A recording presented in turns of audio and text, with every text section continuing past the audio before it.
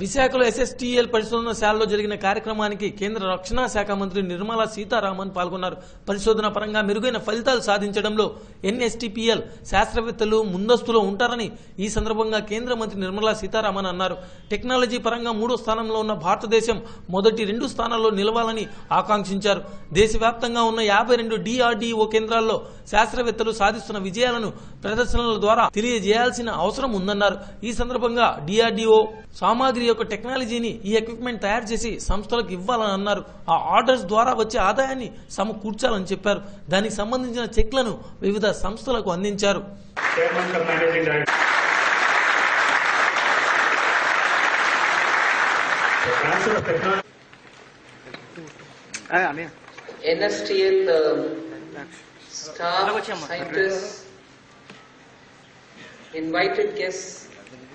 Media Although um, today we had several other things as a part of my itinerary for today, I think much purpose is served by this particular event.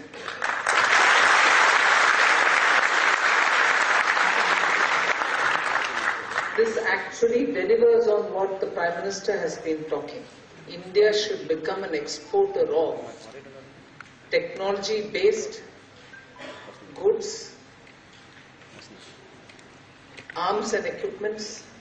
We are the world's probably the third largest buyer of army, uh, I mean, armed uh, weaponry or uh, equipments for the army, navy, and air force. Because a lot of foreign exchange goes out of the country. But we also have the immense potential to produce what we want to buy from outside, we can buy from here itself. And also after supplying for our demands, there is immense scope to export, which is what we have seen here. The technology that you have spent years making, I understand in terms of patents, uh, there is still a long way to go.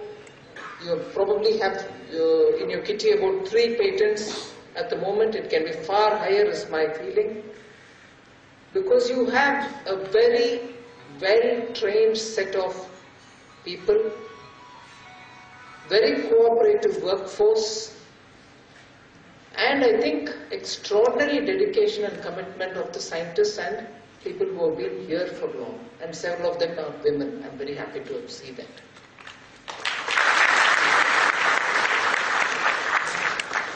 If, uh, as a part of the DRDO, the Naval Science uh, and Technology lab, Laboratory, which is what this is, can get into very speedily transfer of technology with firms who are manufacturing and say selling or exporting to countries which are looking forward to what you have patented or what you have as technology with you.